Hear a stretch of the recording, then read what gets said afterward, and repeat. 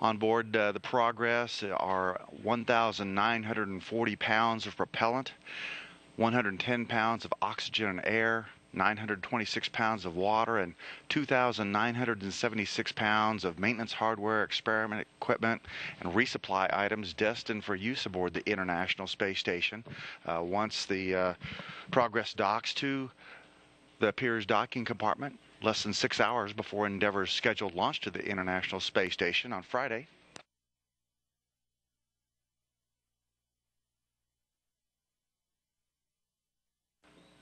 The uh, Progress 42 cargo ship launched on time from the Baikonur Cosmodrome in Kazakhstan at 8.05 a.m. Central Time today. That's 7.05 p.m.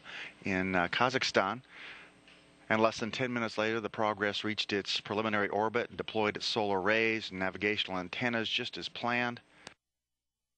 At 8:17 a.m. this morning Central Time, Flight Director Edelen received uh, confirmation from Mission Control Moscow that the third stage of the rocket had separated as expected. There are two rendezvous burns scheduled today and one tomorrow uh, before the uh, automated uh, spacecraft begins its uh, final terminal rendezvous to the space station on Friday. The docking uh, time to uh, Pirs is scheduled for 9:29 a.m. Central Time. And we'll have NASA TV coverage of that docking beginning at 9 a.m. Central Time Friday.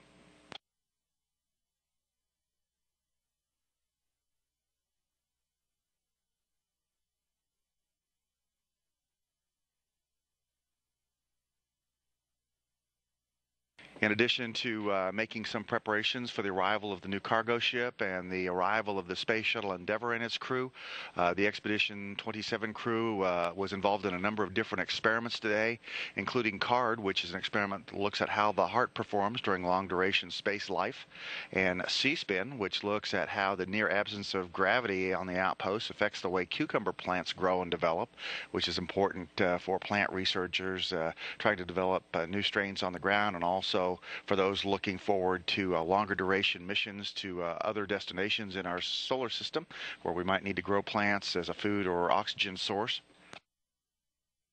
In addition, Paolo Nespoli worked with uh, the setup of a new amateur radio antenna system in the Columbus laboratory.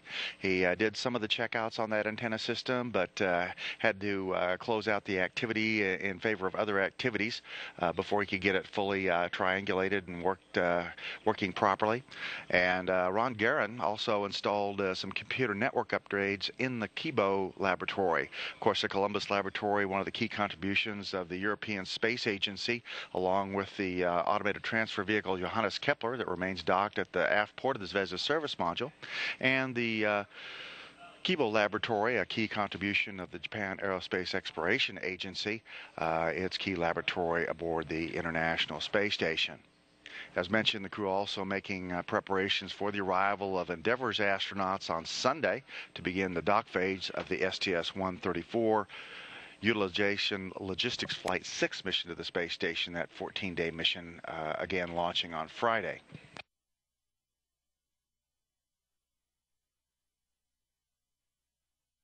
Uh, this pretty much wraps up our uh, video of the rollout preparations to the uh, launch pad. And as soon as this is complete, we'll have uh, live cover, uh, have a replay of the launch of Progress. Can see the gantry falling back away from the rocket.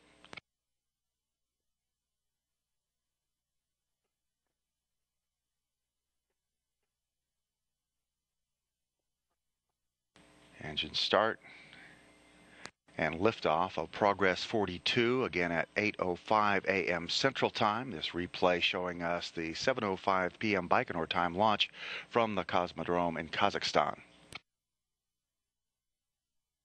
Again, uh, the Progress is loaded with uh, 1,900 pounds of propellant, 100 pounds of oxygen and air, 900 pounds of water, and 2,900 pounds of maintenance hardware, experiment equipment, and resupply items for the space station.